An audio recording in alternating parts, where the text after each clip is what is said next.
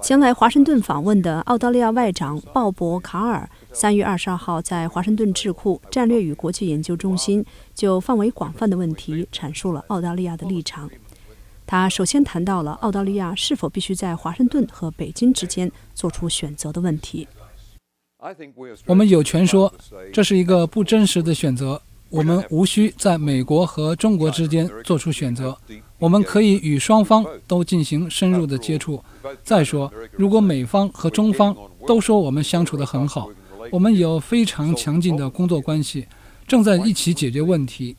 那么为什么澳大利亚应该处在一个两难的境地呢？我们拒绝任何遏制中国的想法。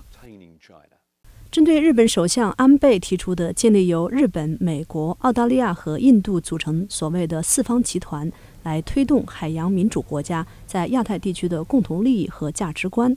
卡尔明确表达了不支持的立场。澳大利亚不会支持组成某一个具体的集团。四方集团是安倍处在反对派地位时最先提出的一个想法，这不是我们支持的。它很容易引起误解。我最近访问印度的时候，根本没有提及这个问题。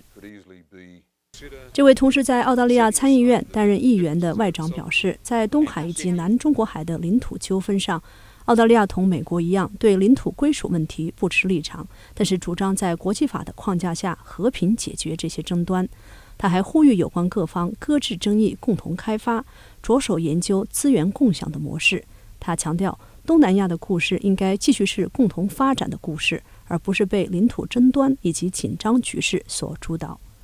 这位澳大利亚外长在回答美国之音记者提出的澳大利亚如何看待美中关系所存在的挑战时，做出了这样的表示：“我们认为双方之间的共同利益，尤其是美中之间的经济利益，将对关系的发展施加影响。”历史上存在两大强国存在共同经济利益的例子，这使得美中关系与冷战期间存在的任何国与国之间的关系有着根本的不同。美中关系中最突出的是双方之间的共同经济利益。卡尔还回答了美国之音提出的如何看待网络袭击的问题。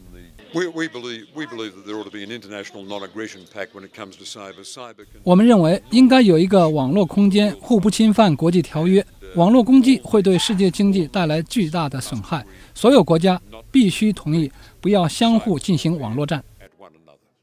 针对美国国内目前所面临的预算赤字以及国防预算削减的问题，卡尔说，美国必须解决其预算赤字问题，而这意味着两党都必须做出重大的妥协。他说：“我们需要一个强大的美国，因为这个世界由于美国对国际和平以及全球事务的关注和承诺而变得更加美好。”